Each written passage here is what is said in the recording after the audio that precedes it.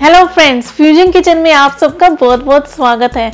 उम्मीद करते हैं कि आप सब अपने घर में मज़े से होंगे और हमारी रेसिपीज़ को भी ट्राई कर रहे होंगे। आपको हमारी रेसिपीज़ कैसे लगती हैं, आप उनको कमेंट्स करके ज़रूर शेयर किया करें। चाहे आपको अच्छी लगी या नहीं लगी, आप लिख के ज़रूर बताएँ ताकि हमें भी पता लगे। और फिर चलते हैं अपनी किचन की और आज की भी बहुत ही मज़ेदार सी रेसिपी बनाना शुरू करते हैं। दोस्तों, आज हमने आपके लिए बनाई है किशमिश की चटनी। किशमिश की भी चटनी बनती है, इतनी मज़े की ये चटनी बनती है।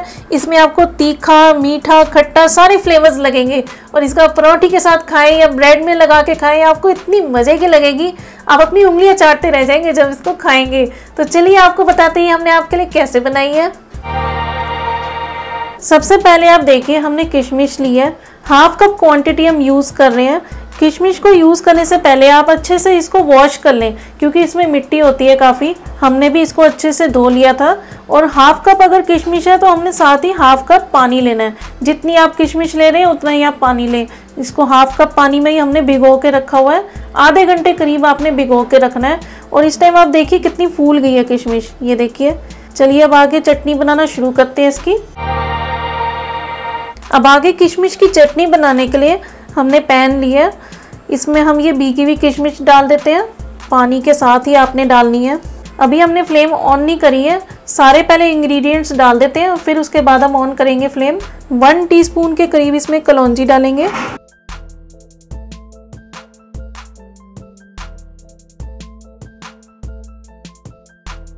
टू टेबलस्पून के करीब इसमें चॉप्ड अदरक डालेंगे। रफली आपने चॉप कर लेनी है। और साथ ही हम इसमें गोल वाली मिर्ची ऐड करेंगे, ये देखिए। इसको गुंडू मिर्ची भी बोलते हैं। इसकी डंडी हम अलग करके डाल देते हैं। पाँच हम यूज़ कर रहे हैं। बहुत ही मज़े की ये चटनी बन रही है। खट्टी, मीठी, तीखी आपको फ्लेवर्स लगेंगे इसमें। इसको आप पराठे के साथ खाएँ या कोई भी अपने मनपसंद स्नैक्स के साथ खा लें। बहुत ही आपको पसंद आएगी। और ये चटनी को आप बना के रेफ्रिजरेट करके रख सकते हैं। एक महीने तक ये ख़राब भी नहीं होएगी। और लेकिन आपने इसको रखना है एयर टाइट कंटेनर में। और ये जो मिर्ची हमने डाली है, इनको भी हमने अच्छे से धो लिया था।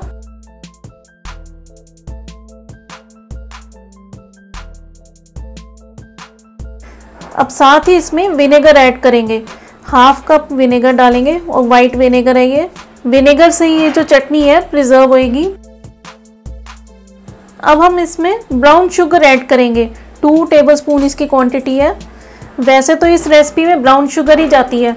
अगर आपके पास नहीं है तो आप वाइट जो नॉर्मल शुगर आती है, वो भी डाल सकते हैं, लेकिन जो बेस्ट फ्लेवर्स हैं, वो इसी शुगर से आएँगे। थोड़ा आपको टेस्ट का फ़र्क लगेगा अगर आप वाइट शुगर ऐड करेंगे। और वन टीस्पून इसमें रेड चिली पाउडर डालेंगे। कुटी हुई लाल मिर्ची हमने डालनी है। और हाफ़ टी स्पून इसमें सॉल्ट ऐड करेंगे, जो नॉर्मल वाइट सॉल्ट होती है। ये सारी चीज़ें हमने डाल दी हैं। अब हम फ्लेम ऑन कर देते हैं। बहुत ही डिफरेंट तरीके की ये चटनी बन रही है। आपने ऐसी नहीं बना के खाई होगी। अभी इसमें बॉईल आने का वेट करते हैं। एक बार मिक्स कर देते हैं सारी चीज़ें। अगर आपको और भी कोई चटनी की रेसिपी देखनी है, हमने अपने चैनल में जैसे बहुत ही वैरायटी डाली हुई है चटनी की अलग अलग तो आप ऊपर लिंक को क्लिक करके देख सकते हैं। अभी आप देख रहे होंगे आ रहा होगा लिंक एक बॉईल आने का वेट करते हैं इसमें सबसे पहले। इस टाइम पे आप देखिए बॉईल आना स्टार्ट हो गया। और बहुत ही अच्छी खुशबू आ रही है इसमें से। अभी हमने क्या करना है?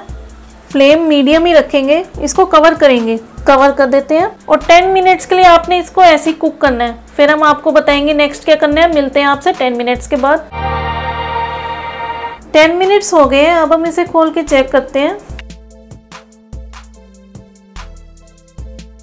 बहुत ही अच्छी खुशबू आ रही है इस टाइम इसमें से। और इस टाइम आप देखिए, जो किशमिश है, उसने विनेगर सोक कर ली है। अभी इससे ज़्यादा हमने कुक नहीं करना, हम फ्लेम ऑफ़ कर देंगे। और इसको हमने ठंडा होने के लिए छोड़ देना है, क्योंकि अभी इस टाइम तो ये बहुत गर्म है। और जैसे ही ये ठंडा हो जाएगा सब कुछ, हमने इसको ब्लेंड करना है। लेकिन इसको हमने फाइन पेस्ट नहीं बनाना, ये थोड़ा चंकी होना चाहिए। बीच में आपको पीसेज आने चाहिए किशमिश के।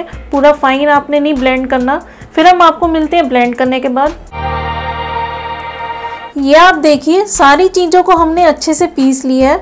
इनको आपने दरदरा ही पीसना है। ये आप कंसिस्टेंसी देखिए टेक्सचर देखिए इसकी। ऐसे ही होनी चाहिए। कोई आपने पानी नहीं ऐड करना जब आप इसको पीस रहे हो। ये देखिए, देखने में कितनी टेम्पटिंग लग रही है। बहुत ही मज़े की बनती है ये चटनी। इसको आप परौठी के साथ खा सकते हैं या ब्रेड में एज अ स्प्रेड लगा के खा सकते हैं। आपको बहुत ही पसंद आएगी। आप इसको ज़रूर ट्राई करें और फिर हमें कमेंट्स करके बताएँ कि आपको कैसी लगी। और हमारे चैनल को आपने अभी तक सब्सक्राइब नहीं किया तो जल्दी से इसको सब्सक्राइब करें क्योंकि आगे बहुत इंटरेस्टिंग रेसिपीज़ आने वाली हैं। तो चलिए आपको फिर मिलेंगे नई वीडियो में नई रेसिपी के साथ। Thank you